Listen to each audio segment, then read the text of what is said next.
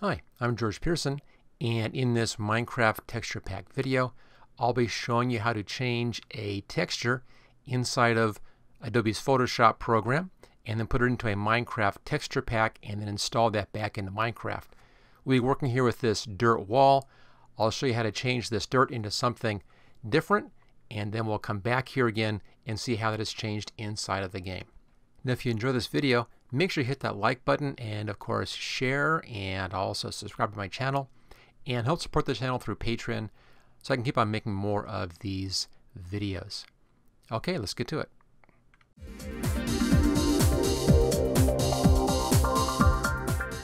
So we'll be changing this dirt texture here and using Adobe's Photoshop program to do that. Let's go ahead and close this down. Just get this out of the way here.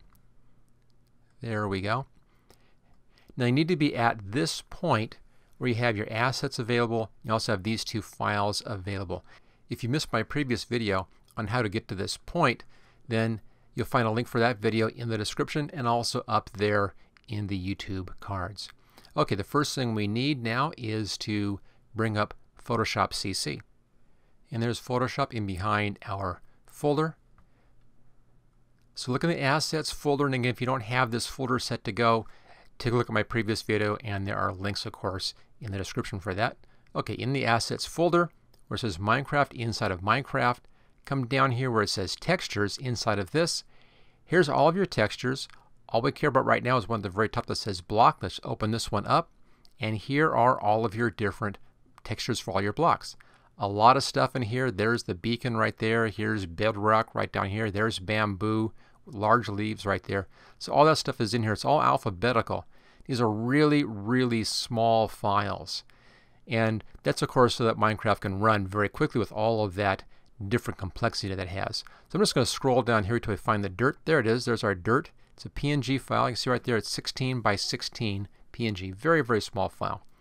I'll just drag it over here inside of Photoshop, there it is, about as small as you can get. Let's just zoom in on that.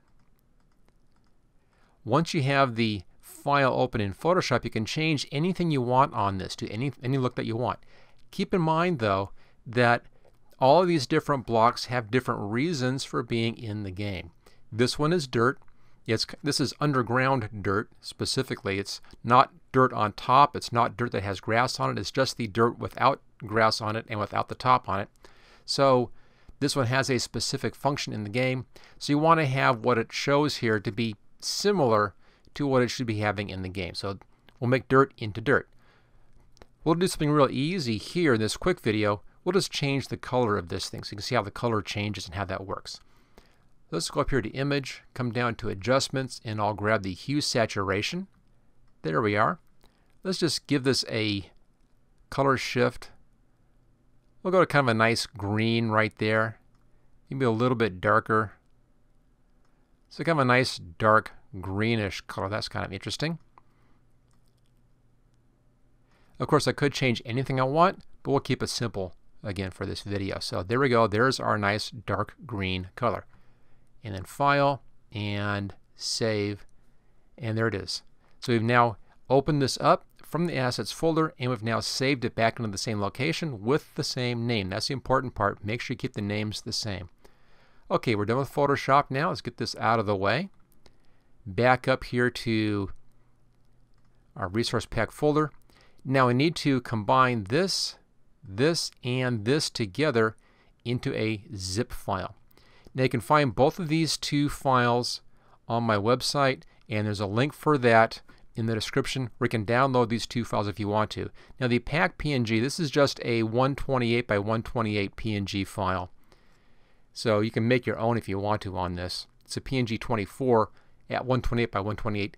Any image you want is fine as long as it is that size right there, 128 by 128 PNG 24 file. Okay, let's go ahead and zip these things up. I'll click on the assets. Now we're using the whole folder, you know, Minecraft, everything in here, the whole thing. There we are. Click on that one. I'll hold the control key down and I'll choose both of those as well. Right click. And the program I use for this is 7-Zip. Does a really good job. Let's just come down here. I'll add this to Archive. This lets you give this a name. And I've been using cat in here as my standard name. I'll also call this one cat 6. There we go. It's going to be in the zip file format. Everything else can stay at the defaults. Choose OK. It's now going to zip the whole assets folder together.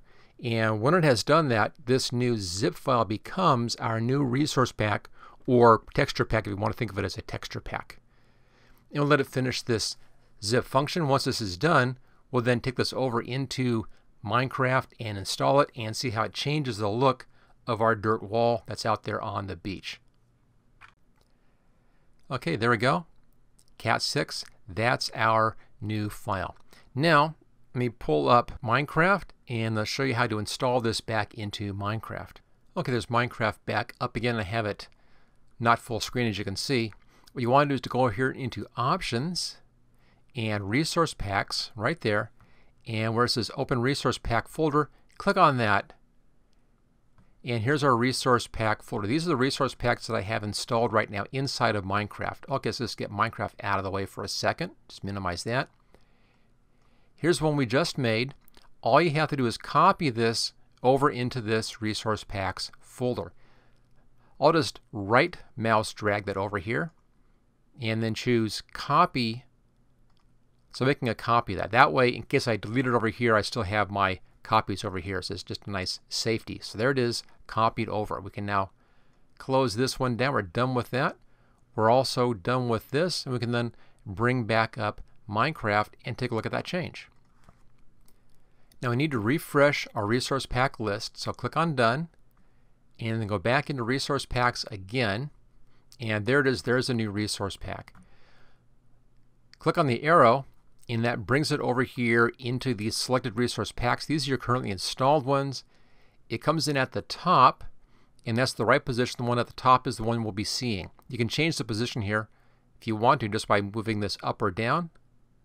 Just that easy, those little arrows right there but you want it at the top in order to run that and have this as the currently used resource pack. So there we go, we're all set to go. Click on Done. Let it go ahead and launch. And I'll just maximize our screen. There it is. Click on Done again. Back to game. And there we go. There's our green wall. So we've now changed the dirt from brown over to green. Now I want to show you one thing about this. If we walk over here to the left a little bit, here's some stuff over here. Now, it isn't the top blocks. This is dirt that has grass on top. So that's different. These are the dirt blocks that are just down just a touch from the top. Let's just get rid of one of these things here. And notice that the dirt underneath also is our new color. So it's going to change anything that's showing inside of Minecraft right now over to that new resource pack look. So there you go. That's all you have to do to edit and set up a new texture using the Adobe Photoshop program. Now in my next video for Photoshop, we'll be getting more involved in how to actually think about setting up a change for the whole look for Minecraft and we'll take a look at doing all of the dirt and all the different parts you need to look at to change all of the dirt in the program so it has a consistent look throughout the whole program. Okay, if you enjoyed this video, make sure you hit that like button and share, and of course subscribe, and support my channel through Patreon. That'll let me keep on doing more of these videos, and I hope you have fun here playing with these resource packs.